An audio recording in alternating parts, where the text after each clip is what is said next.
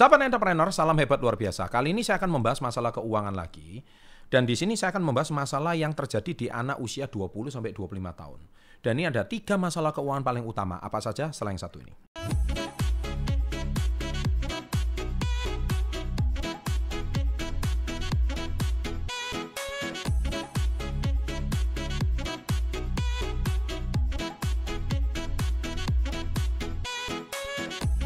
Welcome Success Before 30 Business and Financial Mentoring.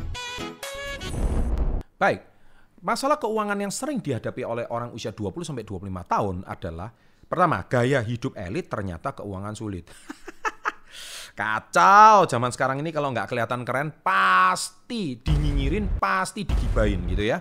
Banyak anak-anak muda lebih baik saya duit habis tapi punya teman banyak. Itu prinsip anak sekarang. Padahal dia tidak sadar bahwa suatu hari nanti teman-teman itu akan pergi dengan sendirinya ketika duit lu sudah habis. Ya kan?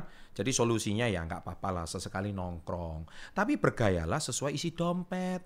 Kalau penghasilan 3 juta, 4 juta ya jangan nongkrong di tempat kafe yang satu kali makan habis 100 ribu, 200 ribu. Ya kan? Nanti Anda pergi ke kafe yang lebih murah sesekali lah seminggu sekali. Jangan setiap hari. Ya kan? Akhirnya gaya hidup elit keuangan sulit ya. Catat itu di menit keberapa kata-kata saya ini yang merasa ya. Oke yang kedua adalah impulsif dan konsumtif. Jadi zaman sekarang banyak orang tergiur dengan diskon yang tanpa disadari orang-orang tersebut menjadi impulsif dan konsumtif dalam berbelanja. Belanja sesuatu yang nggak perlu dan khususnya orang-orang usia 20 tahun sampai 25, terutama yang cewek itu. Cewek itu setiap hari lihat marketplace, lihat mana diskon murah, diskon murah, apalagi setiap hari di, di target engagementnya, di promosi barang-barang yang Anda cari. Dan akhirnya adalah solusi barang yang kamu butuhkan, bukan yang diskonnya tinggi gitu loh. Karena diskon tinggi itu kan kadang-kadang cuma trik marketing ya, supaya barangnya terlihat menarik dan murah. Padahal sebetulnya nggak seperti itu. Nah, oleh sebab itu hati-hati, ini jebakan ya keuangan orang-orang usia 20 sampai 25. Dan yang ketiga adalah tidak pernah menabung. Nah, ini masalahnya. Makanya banyak orang-orang usia 20 sampai 25 itu ketika Anda punya di, lebih uang, Anda punya pekerjaan, Anda memang harusnya bersyukur. Sekarang pegang duit sendiri. Tapi masalahnya Anda nggak selain nggak menabung, apalagi mengembangkan dana dan aset Anda. Nah, akhirnya penghasilan kecil menjadi tameng alasan bagi anak muda sekarang untuk tidak menabung. Pak, penghasilan saya kurang. Anda mau dikasih gaji 4 juta kurang, 5 juta kurang, 10 juta pun tetap kurang. Kenapa? Karena itu alasannya tidak menabung. Nah, kenapa Anda tidak mau menabung? Cek video-video saya sebelumnya. Ya kan?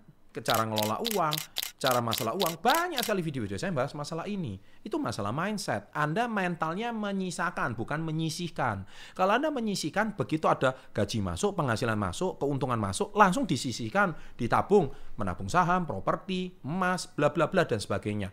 Tapi Anda tidak gitu loh. Anda langsung belanja ini, beli ini, ngafe ini, nongkrong sini, nonton ini.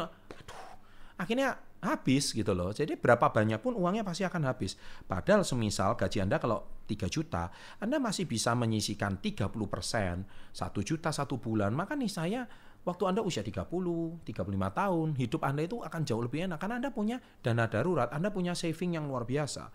Dan solusinya coba untuk mengurangi pengeluaran untuk yang nggak penting dan cobalah menabung sedikit demi sedikit. Tonton video saya tiga cara menabung yang benar yang sudah ditonton 5 juta view lebih video itu terus naik sampai sekarang. Kenapa? Baru sadar ketika setiap orang nggak bisa menabung dan nggak bisa mengembangkan dananya. Demikian video kali ini saya buat. Semoga permasalahan Anda bisa selesai dan jangan remehkan kalau saat ini Anda punya penghasilan.